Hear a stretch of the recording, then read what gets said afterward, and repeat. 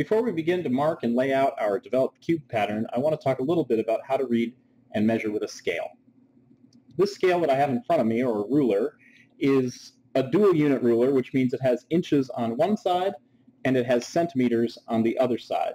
Centimeters are divided into millimeters, which means there's 10 little tiny marks between each big uh, numbered mark here, here, and here.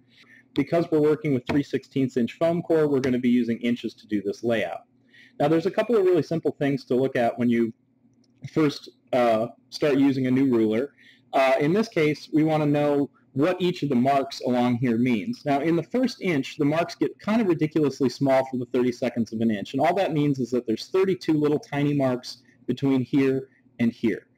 The rest of the ruler, except for the last inch between 17 and 18 inches, is divided into sixteenths. And you can see that little 1 16th right there, which means that the smallest marks between here are 1 16th of an inch or there are 16 in an inch.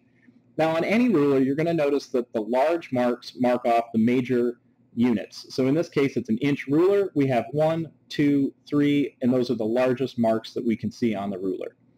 Uh, the next smallest mark in this case is going to be the half mark, which is one half of that same unit. So one half inch has a slightly longer mark. And then beyond that, we're going to have yet smaller marks at the eighth inch marks. And then likewise, as we go down to sixteenths, we have even smaller marks, and those marks subdivide the eighth inch to give us sixteenths of an inch. An important note about this ruler is that it actually has a zero mark as well. That mark is actually on the ruler, uh, and this is a great kind of ruler for doing the sort of layout we're doing. Now, when I want to mark something with a ruler, it's a visual sort of practice. So what I have to do in this case is take my zero mark, and I'm going to line it up with the left side of my sheet of foam core here. And what I'm doing is I'm looking directly at the mark, and I'm sort of visually sighting it so that that mark is split by the edge of the page when I want to make a mark, let's say I wanted to cut a one-inch strip off the edge of this piece, uh, I do the exact same thing, but I take my, my very fine leaded mechanical pencil here, and I line up my lead with the one-inch mark, and I just make a tiny little light mark. And I know that the interval between the edge of the sheet and that mark is one inch.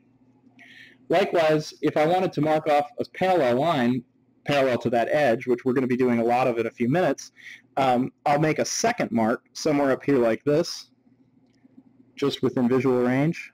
And again, I'm just exactly splitting that mark, and it looks to me, from my point of view, like this one inch line and the mark that I just made is one continuous line. And line it up with my two marks that are exactly one inch apart, and I can strike a line that now I'm confident is parallel with that edge.